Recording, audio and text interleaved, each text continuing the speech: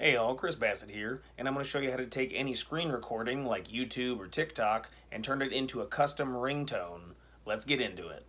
You're going to need three applications, GarageBand, Shortcuts, and Files. GarageBand will let you save the edited music as a ringtone. Uh, Shortcuts is going to allow you to take your screen recording and transition it into a audio only file and then the files is just like a storage or a middleman. I created a very specific shortcut that allows you to take a screen recording and put it into audio. I'll put a link down in the description and at the end of the video I'll also link to the video to show you how to create that. It's all free, just throw me a subscribe. Okay, so we're going to start off by getting into what, whichever media format uh, that you want to get your music from. So I'm a creeper, I'm in my bedroom, but I'm going to use TikTok uh, music. So you want to do at least 30 seconds for the ringtone. So I set it to 60. You can go into the sounds. You can pick whichever sounds you like.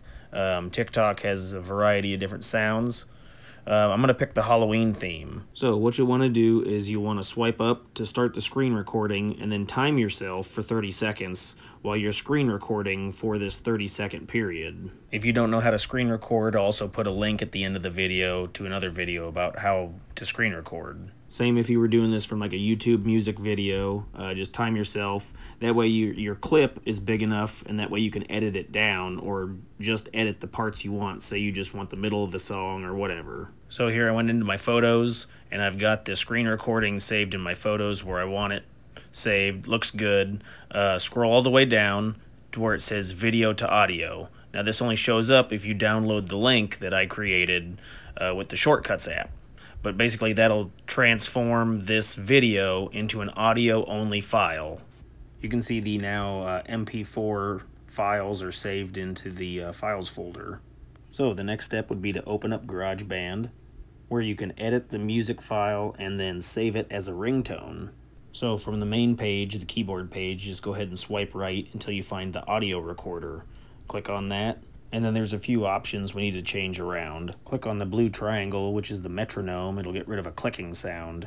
Next, click on the little plus symbol. That'll allow you to change the length of your song. Ringtones can't be any longer than 30 seconds. Uh, I want to keep mine at 8 seconds. That way, uh, every 8 seconds, it restarts the song. Sounds more like a traditional cell phone ring. Next, click on the icon that looks like bricks in order to edit the music. Now click on the loop icon in order to find the file with your music in it. Hold the icon until it becomes a draggable image and then slide it to the left.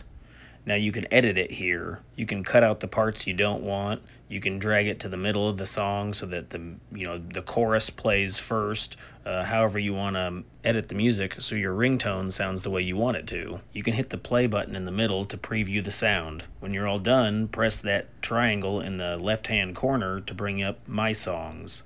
You can now save your edited music to the My Songs library.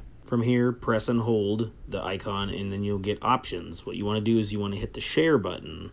Now, as you can see, you can share it as a ringtone.